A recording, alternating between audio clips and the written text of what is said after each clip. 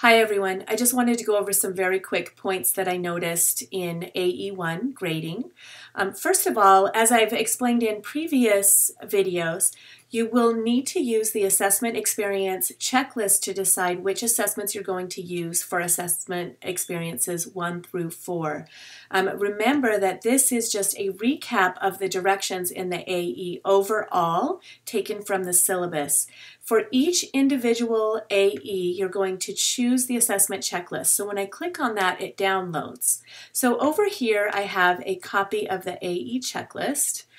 And so in looking at this, the first one is required, which means that everybody will complete a reading attitude survey or interest inventory. So just to be clear, whether you're elementary or secondary, everybody is going to complete a reading attitude or interest survey. For the second AE, whether you are in um, elementary or in secondary, you have a choice of one of these assessments. If you have a Words Your Way or um, access to any of these others, you can choose one of those as well. In um, AE3, there's a choice assessment, which means that anything we've already learned or covered or something that you feel you need more information on, you have a lot of choice. And if you have any questions about whether or not an assessment is acceptable for AE3, just let me know.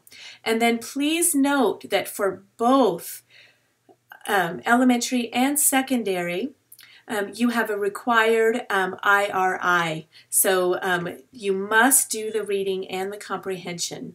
And if you need anything else, please don't hesitate to ask. So just to reiterate, the assessment experience checklist is in each of the AE experiences, and that is what will determine which single assessment you will use for each of the four AE experiences. Lastly, I have already spoken with a few people who did not have any access to children and have given permission to use the video. If you have access to students, you should be using a student in your classroom. I just want to make that absolutely clear. Um, the videos were there for those who did not have any access. You will get the most out of this experience, which is absolutely what I want, if you use a student from your classroom. As always, if you have any questions, please let me know, and I look forward to seeing your next AE experiences.